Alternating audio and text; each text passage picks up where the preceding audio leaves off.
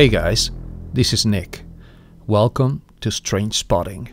Today we're going to look at the albino Bigfoot, one of the most convincing pieces of evidence I have ever seen. Here's the full unedited clip.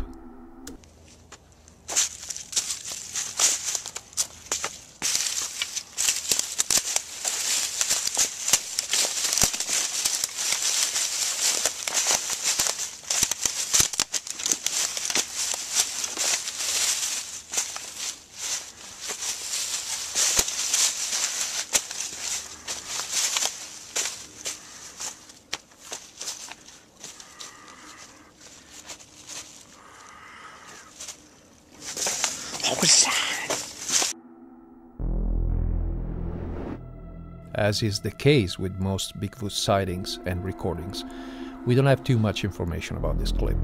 The author is unknown. All we know is that it was taken in Carbondale, Pennsylvania. The clip first appeared on the internet in 2008, although we don't have an exact date for when it was recorded. What's more important, in my opinion, is that there were two previous sightings reported of people seeing a white Bigfoot, roughly in the same area. The first one in 1970 in Blakeslee, Monroe County, about 30 miles south of Carbondale. The second one in 1973 in Beaver County, about 200 miles from Carbondale.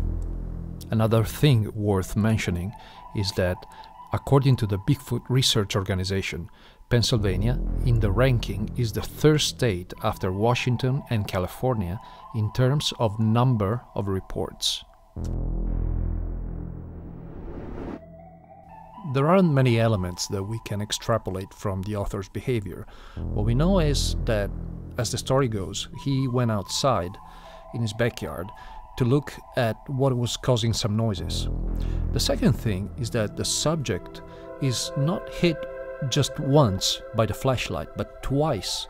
Actually, at the 21st second mark, here he is, exactly here.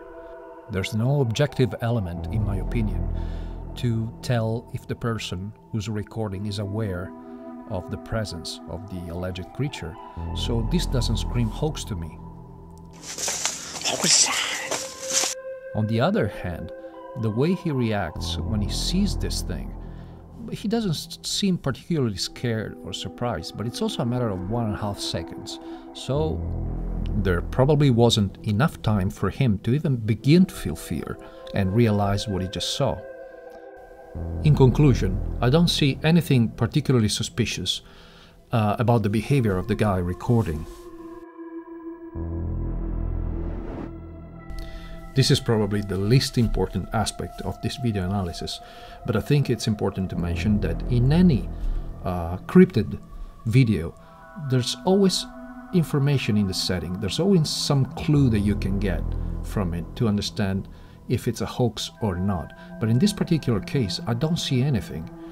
But of course, if you have a different idea, let me know in the comments, please.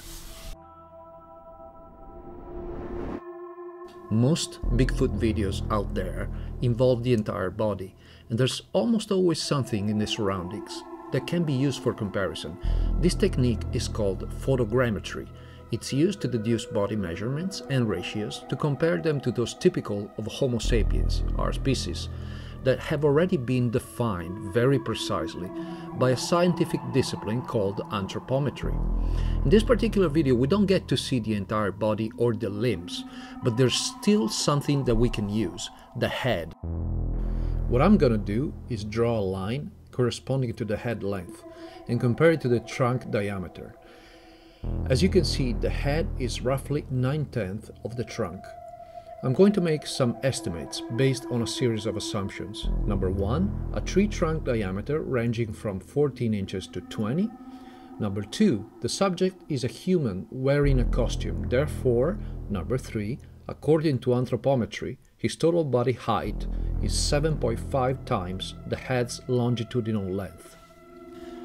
The results are nothing short of incredible. A 14 inches trunk would mean that the subject is 7.8 feet or 2.4 meters tall. A 17 inches trunk would mean a person standing at 9.5 feet or 2.9 meters, and a 20 inches would mean that the subject is 11.25 feet or 3.4 meters tall. These results are nothing short of absurd, and the only logical consequence is that the subject must have a different head to body ratio. Therefore, he can be human. There are two essential aspects to look at here facial movements and facial proportions. The first one can help us discern between two possibilities. Either what we're looking at is a mask or it's a real face. The second one can tell us if the non human features on display here are a result of makeup and prosthetics, or if this face belongs to a different species than ours. I extracted four photograms and put them side by side. As you can see, there is clear eyelid movements here. The subject's eyes narrow visibly once hit by the flashlight as an involuntary reaction and stay that way while it turns to its right and run away, possibly due also to the emotional reaction from being caught. It's a bit harder to make out because of the clip's low resolution, but the lips and the mouth move as well. Here I've drawn two bars with uh, different colors that represent the mouth vertical length in the two different stills, and then I've put them side by side to show you the difference. Based on these observations, I think we can rule out the possibility of this being a mask. Now let's take a look at the facial proportions. I'll avail myself once again of anthropometry to assert a certain fact. Human faces vary in size, color, hair, etc., but the proportions between the different components of a face are the same for any human individual, male or female, who hasn't been damaged by major blunt trauma. What we need to do is put the subject's face next to that of a human and resize them to a corresponding length, and draw some horizontal lines corresponding to the eyes, the nose, the mouth, and the chin. Like this. Can you see the difference? It's just blatant, in my opinion. The subject recorded in this video clip does not sport human facial proportions.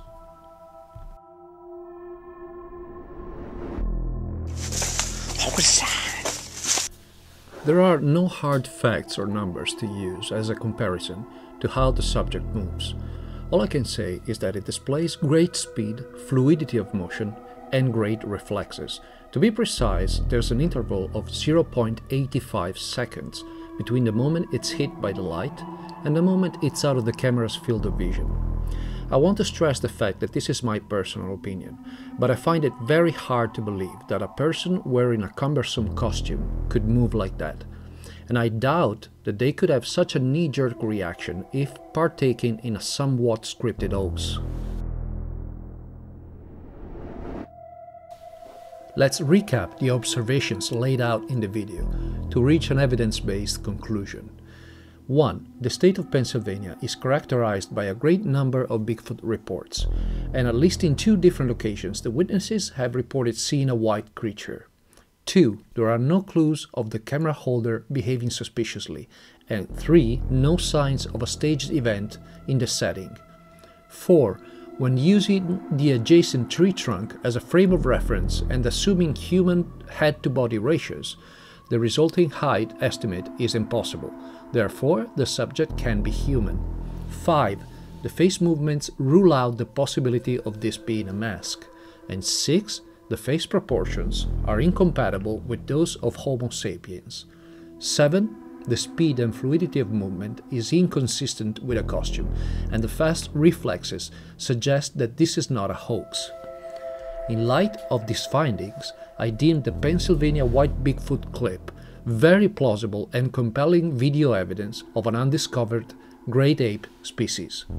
According to this conclusion, I can speculate that the recurrence of white specimens in eyewitness reports might indicate a small population of Sasquatch in the surrounding forests with a prevalence of this genetic trait. If you made it this far, you might consider subscribing to this channel for more content like this and leaving a comment. Thanks for watching and see you in the next one.